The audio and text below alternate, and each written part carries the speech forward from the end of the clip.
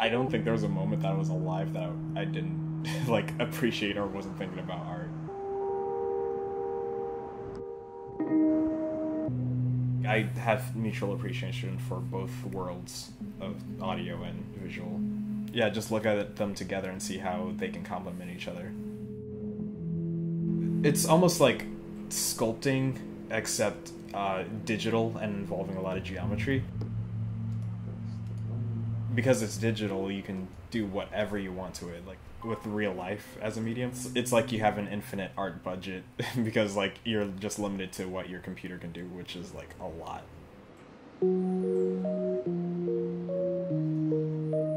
I like to think of myself as just an amalgamation of just like everything I grew up with, like totally subconsciously. Like I didn't even think about it. I'm just like, oh, I see. That probably came from like Sonic the Hedgehog or something.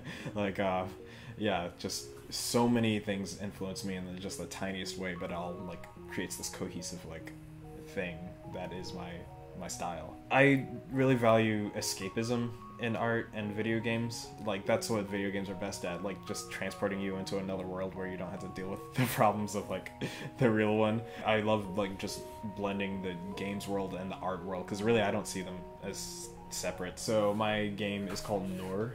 Um, it's a food art game controlled with a MIDI fighter. That's uh, this right here.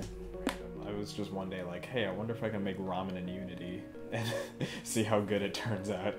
And then uh like I, I made it and then it's just like, hey, this is this is pretty cool. This is pretty good. And like I'm like this is actually making me kind of hungry for some real ramen. And can you really even call it a game? Uh, so it's it's sort of like a toy that you can play around with.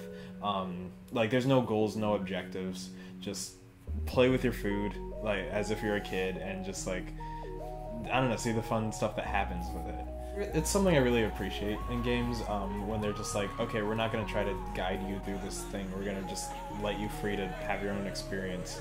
If I find the niche group of people who really like it and then just like the rest, like everyone else hates it, then I, I'm still, I still feel like I succeeded.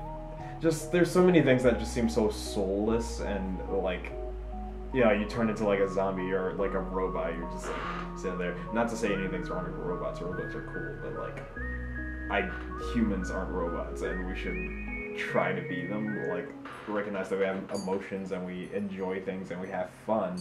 So like, I'm just trying to make stuff that's really creative and colorful and fun, hoping that it bleeds into other things. Part of my goal is to just like abolish the whole femininity behind like certain colors where men are like afraid to uh, like wear pink or whatever. Like colors aren't off limit to anyone. So I, am always sure to use a lot of pink in my colors and like even though when I dress sometimes I'm just like yeah I'm, just gonna wear the most like bright like childish colors.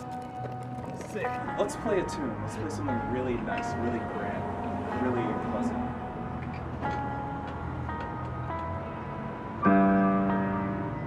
Thank you.